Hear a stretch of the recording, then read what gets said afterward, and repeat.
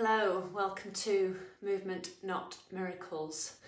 I'm Anna from Eat, Move, Be Happy, um, and it's a snowy Tuesday. Well, it's sort of a sleety, haily, rainy Tuesday at the moment. Um, I hope you are staying safe and warm, and if you have to go out in this snow, um, extra safe and warm. Um, I'm staying well, I'm staying in for the moment, um, but I will be going out with the dogs later. However, before that, um, upper back and shoulders, uh, just to work on keeping some strength and mobility through our upper back and shoulders. Um, often we focus on one and not the other. So if you focus on mobility and not on the strength as well, your muscles are not strong enough to um, help your joints be mobile. Martha's about to jump off. Hello, Martha. Her timing's impeccable. So, um, we're going to work on mobility and some strength in our upper back and our shoulders. Um, a nice, simple start. You can do these seated or standing.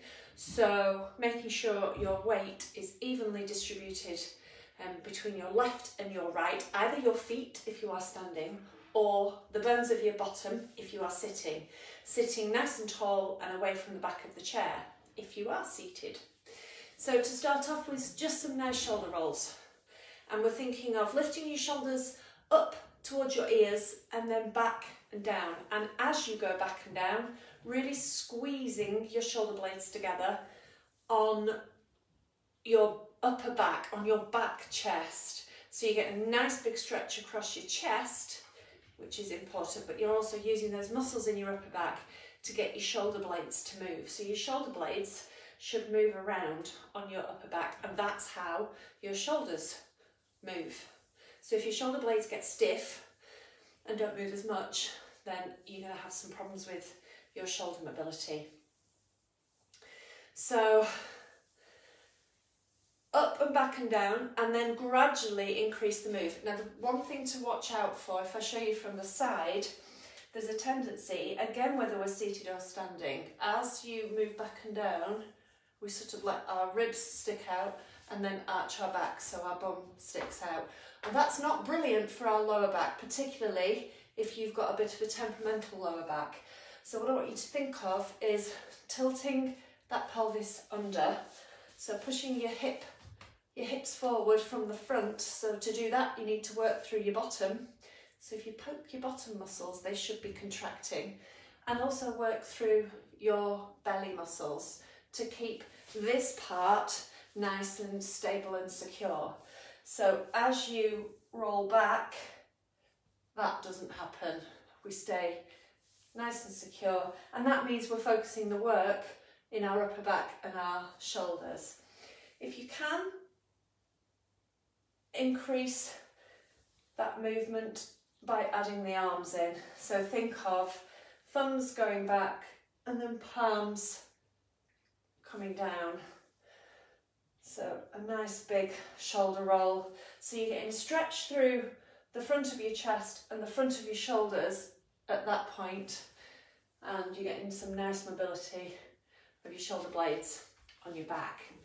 Now, for me, those of you that are used to movement not miracles and me and my shoulders, um, it helps me if I use some sort of um, band, this is a yoga belt, or a, um, a broom handle, something that you can brace your arms against so that you can get full movement over the back and then back and round. The further apart your arms are, the easier it is. The closer your hands are, then you need a bit more flexibility in your shoulders to keep your arms straight.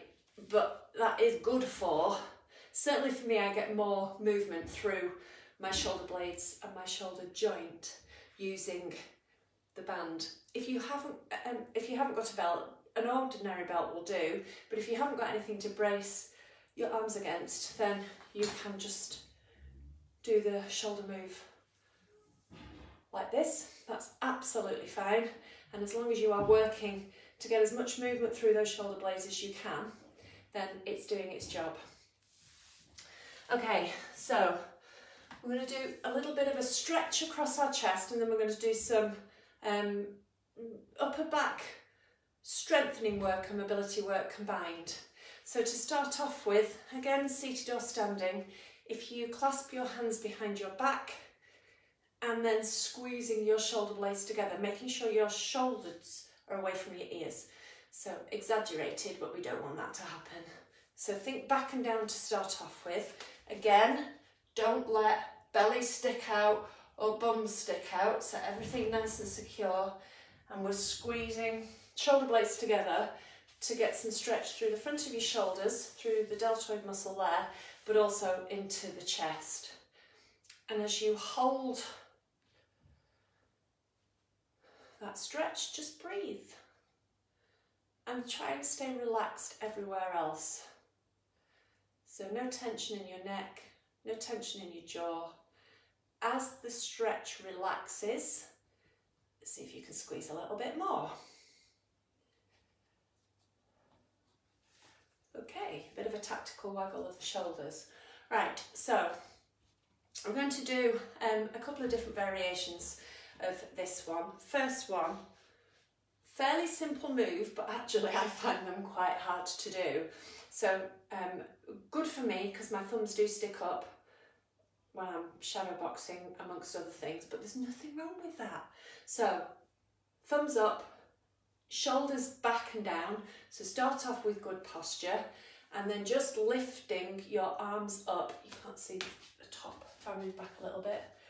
As straight as you can go so you're like a, an I, a capital I shape. So you are aiming, if I show you from the side, you'll see how bad my shoulder flexibility is. You're aiming for your arms to be back behind your ears. So you need to work really hard through the muscles in the side of your back and into your back to try and make that arm go back. Now as you can see from me, that's quite hard work for me. So focus on what you can do. So that's the first shape. And then we're doing the same, but now in a Y shape. So your arms are out to the side a little bit. We're aiming for thumbs pointing backwards and arms nice and straight without letting that belly stick out and that bum stick out. And then back down to the centre.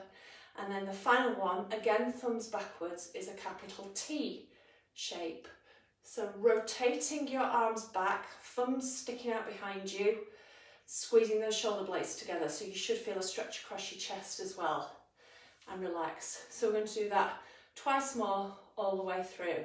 So capital I to start off with making sure you're working through your glutes and your belly to stabilise your lower half. Sitting or standing nice and tall, arms back. So we don't want that to happen. We don't want our shoulders to come up by our ears. You're keeping your shoulders back and down, arms as straight as you can. I'm actually working quite hard through my legs as well. And then that capital Y shape. Thumbs pointing backwards, don't let my belly stick out. Okay, and then the capital T. Thumbs really, so your arms, I don't want thumbs here. Can you see my thumbs pointing forwards now? Rotate your arms back. And then once more, all the way through. So a bit of a tactical waggle there. Arms, shoulders down, arms straight and back capital Y, elbow straight, and then capital T. Okay, a bit of a tactical waggle. So you should feel some work through your shoulder joint, but also the muscles in your back working to hold your arms and your shoulders in those positions. And as I said before, if your muscles are not strong enough, to support the joint, um, then it doesn't matter how much mobility you do, your joint is not going to be as healthy as it can be. You, you're not going to get the movement, the correct movement out of the joint. So working strength and mobility is important.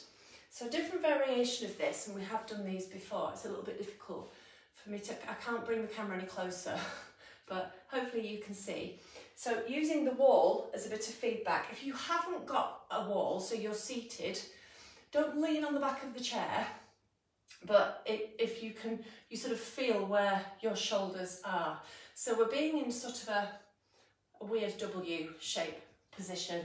So we're aiming for that rotation through the shoulders to get the arms back.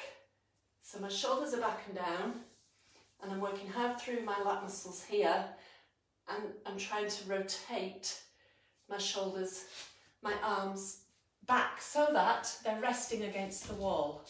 Now that is really hard work for me. So I'm trying to get my wrists flat on the wall and it is just not going to happen. I don't know whether you can see from there. So you need to line yourself up so that you are not leaning on the wall completely, but that you you can feel the wall behind you as a bit of a guide. And then we're going to lift our arms up, keeping contact with that wall without letting your bum stick out, without arching through your back. And then bring our arms down. And you see I am quite a long way away from the wall because my shoulders just will not bend this way. And I can really feel the work in my upper back, which is where we want it. So we're to go up one more time and down. Actually, I didn't, I said one more time, I didn't mean that. Now it's one more time. Keep breathing. I've gone quiet, you probably realise how hard this is for me.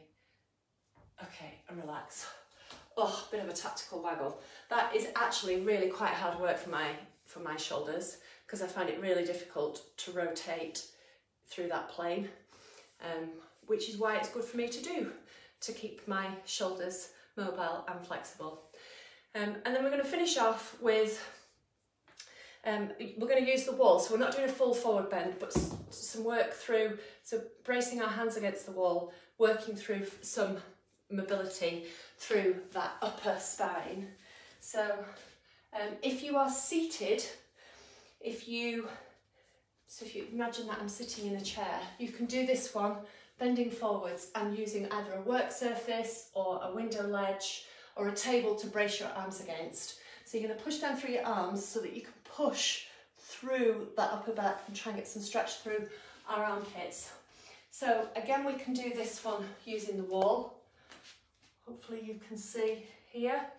So you need to be far enough away that you can brace yourself against the wall and push down, sticking your bottom backwards to try and bring your chest through, arms straight as you can, and keep breathing.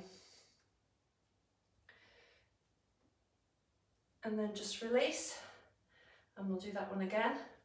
So hands are flat against the wall, and then I'm taking my hips backwards and take, pushing my chest down towards the floor. Your legs are straight. You might feel a bit of a stretch down the back of your legs, but if your legs are on an angle away from the wall, that reduces the needs for your hamstrings to stretch.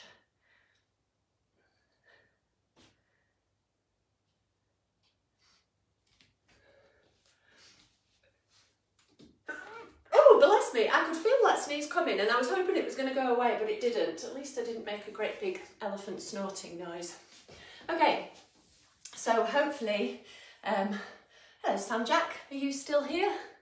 Um, hopefully your shoulders feel a little bit more worked, maybe a little bit more space across your chest.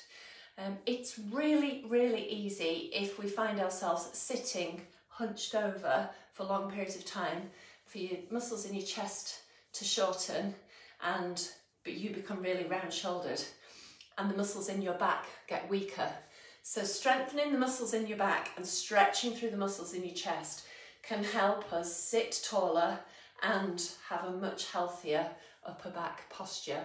So um, it is worth doing some mobility and strength work combined to help both of those things happen.